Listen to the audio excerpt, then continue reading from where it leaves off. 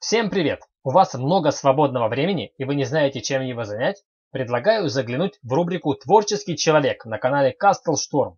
В этом видео я расскажу, кто такие блогеры. Смотреть будет интересно всем, даже тем, кто воспринимает это слово лишь как обзывательный термин. Ведь блогер – это человек, который обладает мастерски каким-то умением и хочет рассказать об этом всему миру через ресурсы интернета.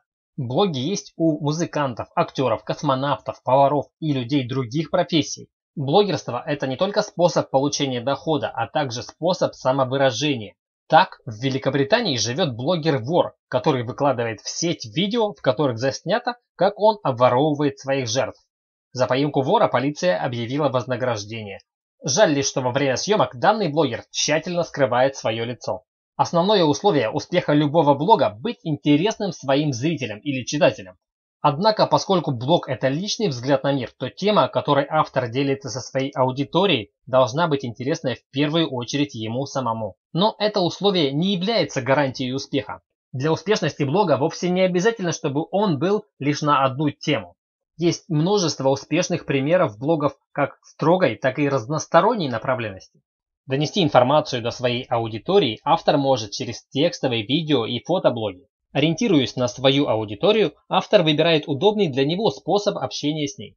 Например, любителям путешествовать или играть в компьютерные игры будет интереснее смотреть видеоблог, чем читать статьи на эту тему.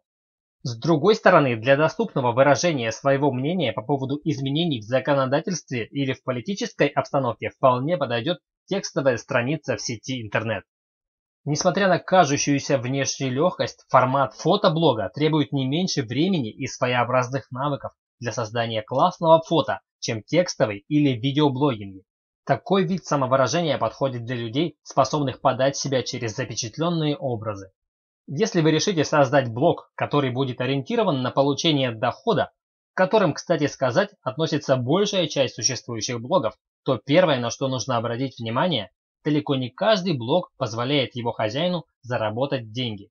Многие авторы прекращают работу над своими блогами, так и не начав получать долгожданную прибыль. Блогерство – это риск. Если вы хотите на нем заработать и у вас есть дух предпринимательства, то это ваша тема. Если хотите получать регулярный доход в сети, ищите работу по объявлениям в ней. Пока вы смеетесь над этой шуткой, у вас есть пара секунд, чтобы подписаться на канал Castlestorm. Если же серьезно, то сначала примите неизбежность преодолимых трудностей, а затем уже уверенно двигайтесь к цели.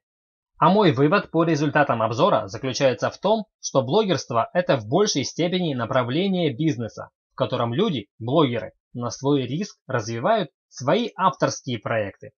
Хотя иногда бывает, что люди выдают чужие идеи за свои, как, например, в Турции духи дорогих брендов разливают из цистерн для перевозки нефтепродуктов, но это уже совсем другая история. Спасибо за внимание, пока.